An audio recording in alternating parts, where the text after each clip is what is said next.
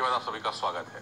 BHU मामला तूल पकड़ चुका है। काफ़ी लड़कियाँ हॉस्टल खाली कर चुकी हैं, लेकिन जो छात्राएँ अभी भी मौजूद हैं, उन्हें भी डराया जा रहा है। समय यूपी उत्तराखंड ने ऐसी लड़कियों को ढूंढ निकाला है, जो विश्वविद्यालय प्रशासन की पोल तो खोल रही है, लेकिन अपनी पहचान बताने से डर रही है। इसलिए हम भी उनकी पहचान बताए बिना ही सुनते हैं, क्या कुछ कहना है उन छात्राओं का। बनारस हिंदू यूनिवर्सिटी में लगातार जिस तरह हॉस्टल्स में काफ़ी वार्डन्स वहाँ पर लड़कियों को परेशान कर रही हैं, लड़कियाँ काफ़ी जा चुकी हैं, लेकिन जो लड़कियाँ मौजूद हैं, उनके साथ में ज़ोर ज़बरदस्ती हो रही है। और क्या हालात हैं, जानते हैं इनसे? क्या हालात हैं हॉस्टल में? क्या कहना है?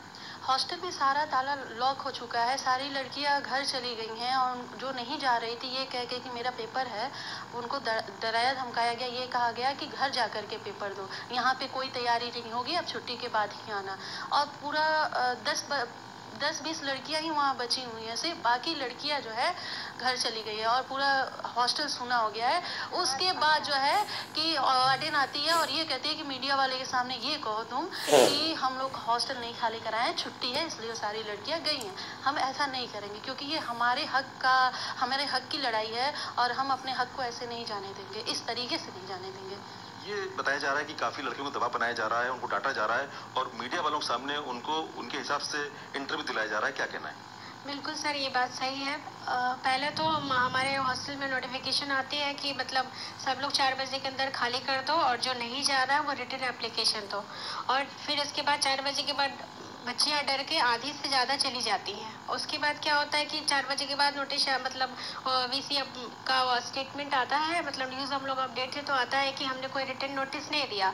तो बिल्कुल सही है कि उन्हें जो भी रिटर्न नोटिस नहीं दिया, लेकिन वो वार्डन और हाउसकीपर सबसे डरा के वो हम लोग को ऐसा बोल दिया गया था कि 75 टू 80 परसेंट लड़कियाँ चली जा चुकी हैं डर के मारे। और जो जो बची है 20 परसेंट उसमें से आधे तो उनके हैं। उन, उनकी बच्चियाँ हैं जाँच पड़ताल हो रही है जाँच पड़ताल में तमाम स्टेटमेंट दिलाई जा रहे हैं क्योंकि जिस तरह बीएचयू में घटना हुई उसके बाद जो लड़कियाँ यहाँ पर बची हुई हैं उनसे क्या प्रशासन कहलवा रहा है क्या कहना है? उनसे तो यही करवा रहा है कि आप लोग कहिए कि हमारे हॉस्टल को बिल्कुल कोई खाली नहीं करवा गया है कोई रिटर्न वो रिटर्न स्टेटमेंट नहीं आया है वीसी का और ऐसा तुम लोग बोलो ज़बरदस्ती फोर्स करके ऐसा बोला जा रहा है। अपने पक्ष में पूरी बात कहना चाह रहा है बीएचयू प्रशासन? बिल्कुल बीएचयू प्रशासन पूरी तरीके से अपने पक्ष में बात कहवा रहा है। प्रत्येक हॉस्टल में वार्डन जा जा करके प्रत्येक व्यक्तियों को कन्विंस कर रही है कि आप जो है ये कहिए कि ये कहिए आप कि जो है हॉस्टल नहीं खाली कराया गया है। और, और भी जिस तरह मारपीट हुई घटना हुई उसके मामले में भी क्या आपसे कुछ ऐसा कहलवाया जा रहा है?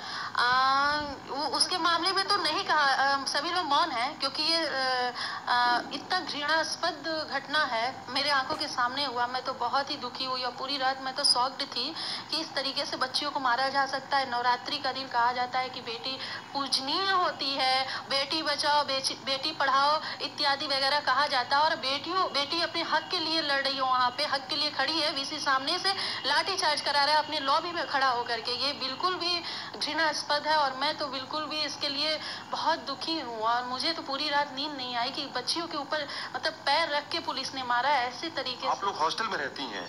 हॉस्टल की हालत काफ़ी खराब है वहाँ पर जिस तरह काफ़ी मारपीट भी हो रही है वार्डन मारपीट कर रही है क्या कहना है? हाँ उस दिन जब इसी आए थे उस दिन तो वार्डन ने थप्पड़ भी मारा था और लड़कियों का हाथ भी खींचा था। उसके बाद फिर अपना जो पॉलिटिकल जो भी है रिटर्न पावर वो लोग दिखाए, वही बच्चों को जाने के लिए बोल दिए। उसके बाद जैसी भी का स्टेटमेंट आता है, सब कुछ नॉर्मल हो गया। उसके बाद हमारी एक भी वार्डन नहीं आए और बोल देगा कि मेस बंद है, फिर अगले दिन सुबह ही हमारा जो भी है मेस भी स्टार्ट हो गया, सब कुछ नॉर्मल कर दिया गया। ये छात्राएँ बहुत डरी हुई हैं, सहमी हुई हैं, कह रहे हैं कि हमारा जो फेस है, कम से कम वो सामने ना आए। तो ऐसे में साफ़ कहीं ना कहीं ये जो बात अपनी बता रही हैं, बहुत सहम कर बता रही हैं। समय के लिए वाराणसी से कैमरामैन संजय गुप्ता के साथ सुशील कुमार तिवारी।